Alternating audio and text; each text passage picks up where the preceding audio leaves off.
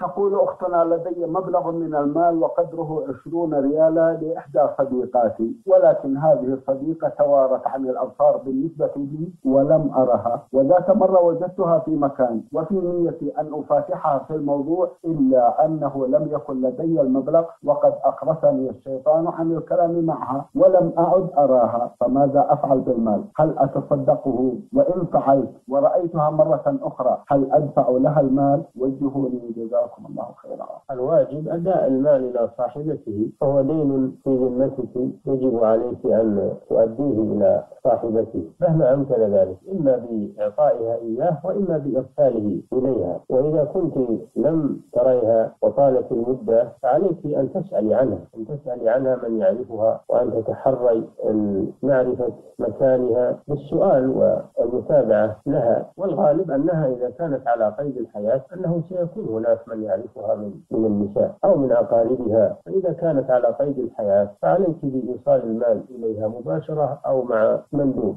أو بإرساله إليها بأي وسيلة. أما إذا لم تكن على قيد الحياة فالمال لورثتها. فعليك أن تدفعيه لورثتها أو لوكيلها الشرعي إذا كان لها وكيل بعد وفاتها. أما إذا تعذر الأمر نهائيا ولم تجدي عنها خبرا ولا تعرفي تعرفين من تتصل بها ولا تعرفين أحدا من أقاربها فإنك تتصدقين بهذا المبلغ على نية أن الأجر لها. فإن جاءت فيما بعد ذلك أو جاء وارثها أو وكيلها فإنك تخيرين من يأتي إليك بطلب هذا المبلغ. إما بأن يمضي الصدقة ويكون الأجر لصاحبة الدراهم وإما بأن تغرمي المبلغ ويكون أجر الصدقة لك. نعم. جزاكم الله خيرا وأحسن إليكم.